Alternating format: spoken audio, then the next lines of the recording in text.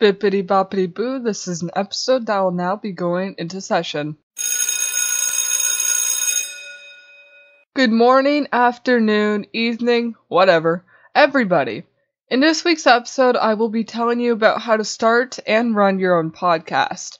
For a bit of context, in case you're just seeing my podcast now due to this episode, I've been podcasting for over two years now and I've learned quite a bit over time.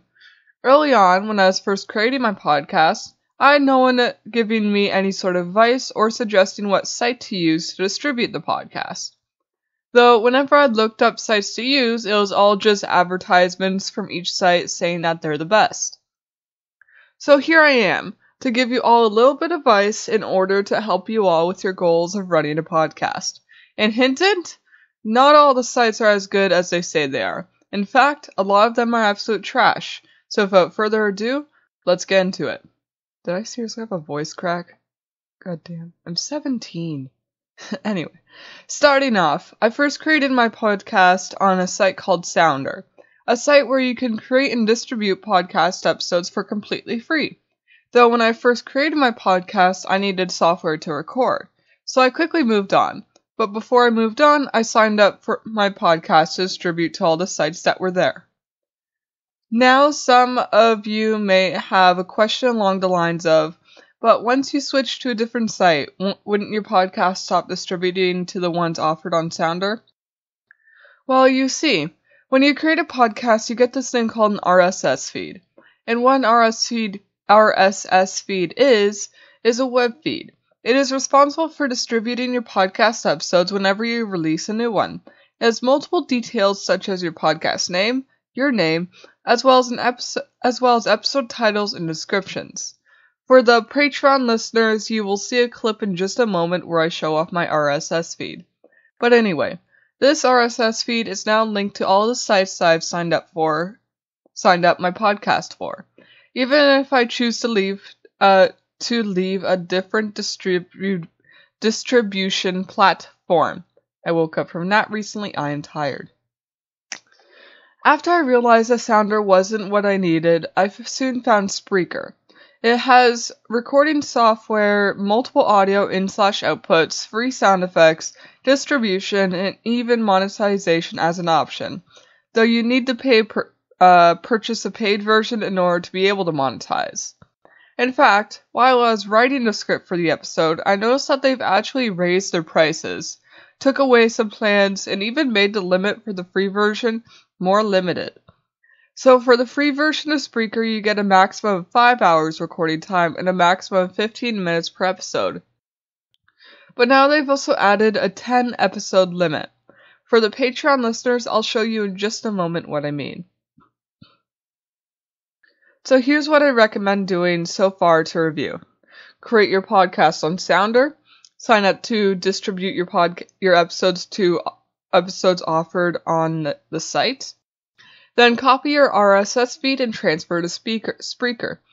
There, I'd recommend choosing the free option. Sign up to distribute to all sites offered there. Then, the ne- then here's the next thing. I'd recommend releasing your first episode on Spreaker. Next up, Anchor. That's the site I currently use for distribution. After your podcast has been approved for all the offered sites on Spreaker, I recommend copying your RSS feed and switching to Anchor. It's completely free and has an option to, to record on the site as well. Though the audio tends to cut or distort from time to time, so that's where I recommend using a separate recording software. Granted, I'm pretty sure the best softwares can only be downloaded on computers like Windows and Mac, so if you use a Chromebook, then I'd recommend using the recording op- option on Anchor and just listening through to ensure it's not too messed up. Alright, so the software that I use to record audio is Audacity. It's pretty amazing. You have the option to cut out background noise, suppress or increase volume post recording, have multiple inputs, and so on. It's easy to learn and edit with as well. It's also completely free. Audacity is typically used by audiobook recorders, but legit anyone can use it. So what I do is record my audio on Audacity, then edit through it to add it in the bell sound effect, as well as cut out any pops that got in from my headphones. After that, I design my thumbnail and upload both the audio and thumbnail to Clipchamp, which is a free video editing software. It has a recording option on it, though I've never used it since laptop cameras are low quality in general. So I recommend the th- thumbnail audio. So I recommend the thumbnail and audio to get. So I edit the thumbnail and audio together, then export it. That's when I upload it to other sites. I upload the audio itself to Anchor and I upload the video option to YouTube. For anyone wondering, I use a gaming headset to record my audio. You can use you can see it in a few of my past collaborative episodes. I've been wanting to get a proper microphone and like an arm for it so I can attach it to my table, but I could never find anything that was decent quality was decent quality for a decent price. And being a podcast, I kind of need the audio to be good. Alright, so you've created your podcast, but you don't know either what it should be about, how to design it, or what your first episode should be. Well, in terms of the topic, I can't tell you since you're on your own per- you are your own person. I am slow brain right now. However, I'd recommend going into a niche that can be easy to come up with ideas for. Also, I'd recommend thinking about series that you can have on the podcast.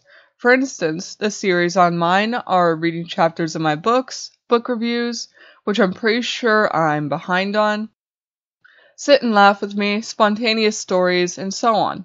Trust me, the series are what you can use to fall back on if you can't think of content. Don't forget, social media is your friend. So if you don't have your niche decided, then look through what other people are posting or talking about and think about how you can cater to how how you can cater to how you think to make the content unique. As for your first episode, I'd recommend an about me. For instance, mine I went briefly into who I am, what experience I have in my niche, and what I'll be posting on my podcast. Granted, that episode was posted over two years ago and is less than three minutes long. So a lot has changed over time, but nonetheless it's starting it's a starting point, especially for the first episode. Also, if you'd like to start a podcast but are unsure as to if you'll be able to make content for it due to a lack of ideas, before making your first episode, plan out 10 episodes for your podcast. If you can, with just a bit of research then go for it. If you can't, then maybe try having your podcast reach into more than one niche that you have interest and experience in. Next, now is something that I will always recommend no matter what your podcast is on. Script your episodes. Throughout the years, I've always heard people be like, "Oh, I don't need to want to script my episodes because it wouldn't make because ev- it would make everything unnatural." Or, oh, I don't need a script. I have all the ideas and what I want to say in my head. No, you don't. Script your episodes. You don't have to read word for word, but it'll be much better as a guideline. They were there were times that I would be recording with someone and ask them to work on an episode script with me so I know what they're going to say and be able to quickly respond with no dead air to edit out and they would. However, when we'd actually get to recording, they would have the they wouldn't have the document open and would end up saying things completely different than what they wrote. So I'd end up stumbling for a response and would have to go for a bland response like, "Thank you, very interesting. Next question." Then later on they'd ask if we could go back to an earlier question because they forgot to bring up something, something that they had written in the script. So please, script your episodes. It'll be something for you to fall back on when you don't know what to say. It'll save you from stuttering constantly and you won't end up forgetting other things you wanted to say. For instance, a lot of my episodes are written in advance, so if I end up remembering something later on that I didn't remember when writing the script, then I can quickly go back and write it in. Next, there are some things I'd recommend avoiding. First up, Riverside.fm. Absolute trash. I don't recommend it no matter what. It's partnered with Anchor, but it is so behind in terms of everything. For instance, I recorded one of my Deathchill episodes on it. I believe it was chapter 6. And it would constantly cut out, lose connection, fuck up the audio, and the video option is absolute trash. The editing on it is difficult and slow as well. So all in all, ignore those Riverside ads that you've seen because it is horrible. Next, avoid collaborating people who don't have much to say. It can get difficult to get things out of, out of them, like trying to get them to go more in depth. For recording visual episodes when I'm doing a collaboration, I use Zoom, since Google Meet is shit. When it comes to recording, and Zoom gives when it comes to recording, and Zoom gives more audio and visuals separately. That way you can edit. Though for visual episodes that I'm recording by myself, I use Twitch Studio. It's not too laggy and has many options in terms of additions that can be added on screen. Though something that angers me is that my gaming laptop doesn't let me view the video beforehand without a separate application that I don't have. So I end up having to upload it straight to YouTube and set it in private in order to make sure nothing's wrong with it. Now for the sites. I recommend you go I recommend you check out now for sites I recommend you check out. One is called Audry. It is a site where it is a site where you can meet people to collaborate with inside your niche, trade shoutouts, and even pay for other podcasts to advertise yours. I was asked to join by the site owner early on, and I believe I've done one collaboration through it. But I haven't checked it in over a year, so I probably have more message requests that are just marinating. Although, after I've written the script, the next day I decided to check my email because I was bored, and I noticed one from Audry. Uh, so I'll just read it out for you all real quick. Hi, Porscha. Today we have to share some unfortunate news, news with you. We are very sorry to inform you that due to various factors, Audry will be closing down the business. As a result, that also means that the Audry platform will discontinue in a few weeks. We appreciate all the feedback and lovely messages we have received since the launch in March 2020. The final day will be the 15th of November 2022, so you have all the time you need to wrap up your conversations or move them to a different channel. After the 15th of November, all of your personal data on Audry will be permanently deleted. Thank you for being part of the Audry story, and all the best for your podcasting journey. Your Audry team. So, you could try to speedrun some connections for collaborations before the site shuts down, or you can search for another collaboration site. But even if you end up not finding anything, or don't trust any of the sites you do find, don't worry. A majority of my collaborations so far were people reaching out to me via Instagram and email. Or email. So there's no need to panic. You'll get offers for collaborations once you grow some more. Besides, you could always reach out to others on social media and ask to collaborate with them. Next is Wisdom. It's an app that I know for a fact that is available on iPhone, though I'm not sure if it's been added to Android yet. But I believe they did. I was invited by the site owner back when it was in closed beta, so I have the Top Mentor certification, which was only given to a select few. It basically means that I make a bit more than the other mentors. Anyway, why I recommend uh, joining Wisdom is because you can make money per minute listen live. You also gain money when joining other people's lives and can make money off of answering uh, people's questions.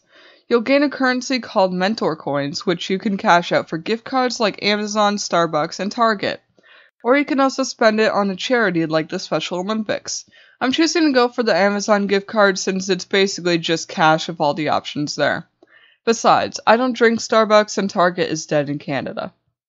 By the way, all of the sites softwares sites and softwares, not Riverside, will be linked in the description of this episode. Also, even when you're just started, even when you've just started your podcast, I'd recommend also creating a Patreon for it. It doesn't cost you anything to run, and yes, early on you won't be getting any patrons. However, it's another area to upload your content, and you can make special episodes for when people do end up deciding to join it. Also, I'd recommend uploading your episodes or clips of your episodes to Instagram. It's quick and easy to gain a following if you're uploading interesting content, so go with it. After all, it's just larger reach. Don't forget, social media is your friend. Run a Twitter account too, if you feel like it. Though I personally find it difficult to care enough to open the app, which I find quite funny. Growing up, I used to be obsessed with social media and would post multiple times a day about random shit. But now I have no interest in posting. Seriously, back then I'd even have to force myself to not post for a week because I'd be spamming people's feed, and everyone would be mad at me in person.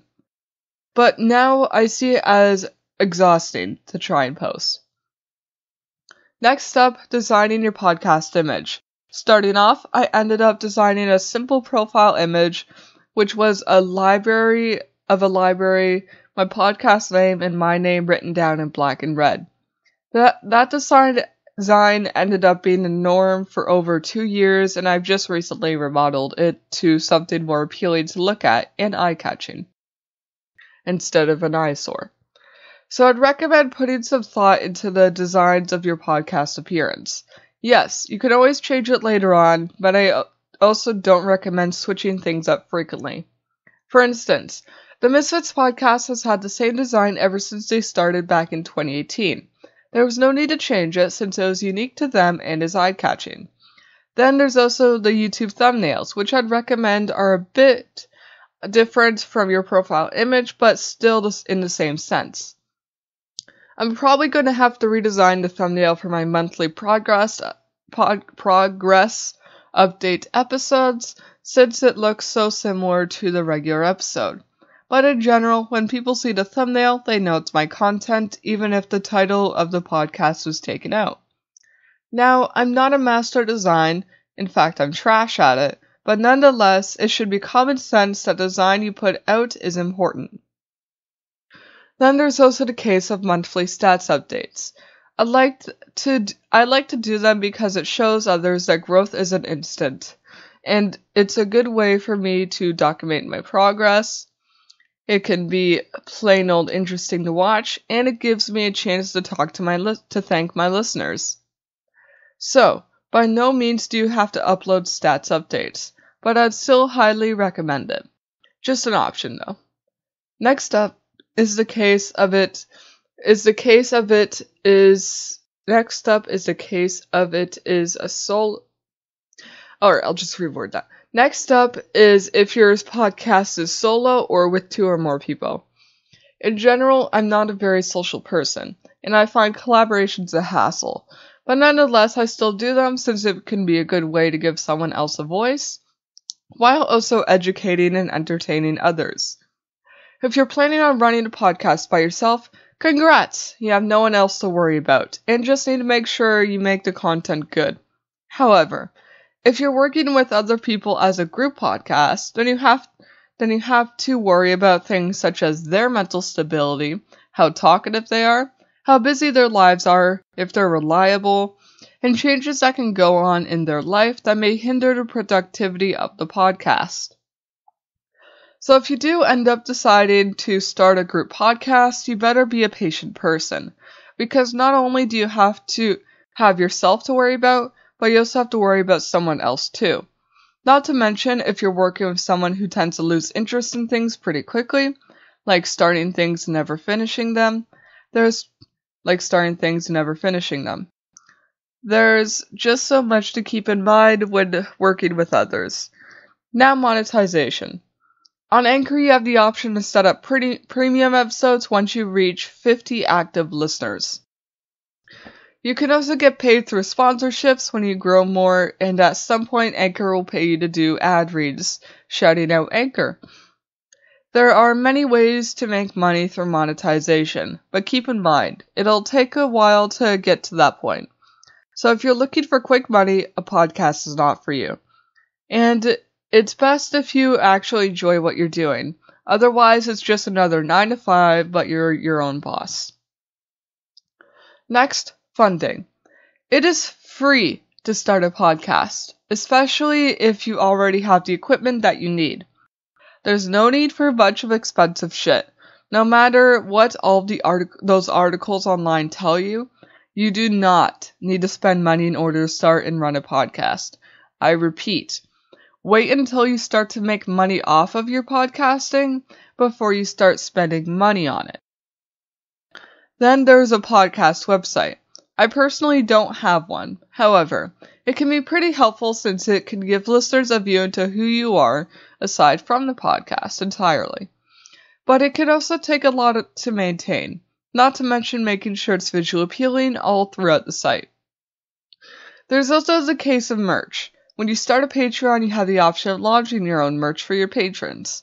If you'd like to if you'd like to have merchandise, go for it as long as it doesn't cost you any money to make. So print on demand basically. There's tons of sites you can use that are completely free, so just ignore the sites that require you to pay a fee to design through them.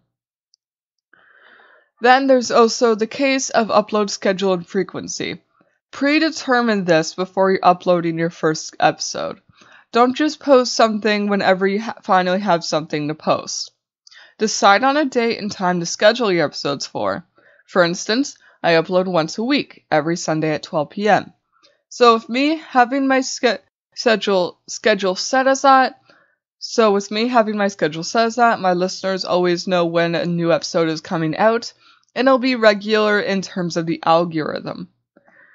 So, also keep in mind frequency. Either once a week or once every two weeks, doesn't matter. Just keep up with a regular schedule. That is all. So, in summary, start on Sounder and sign up for the distribution op- options. Move to Spreaker and sign up for the distribution options. Then record and upload your first episode. Move to Anchor as your primary site. Use Audacity to record and edit audio. Don't spend money on expensive podcast equipment. Make sure to design things to be pleasing. Follow my Patreon in order to get more in depth and visual in depth and visual episodes.